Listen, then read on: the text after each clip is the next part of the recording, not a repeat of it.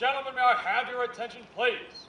I am Sergeant Ozio of the 3rd Infantry Regiment, United States Army. Guard of Honor, Tomb of the Unknown Soldier. The ceremony that you are about to witness is the changing of the guard. In keeping with the dignity of this ceremony, it is requested that everyone remain silent and standing.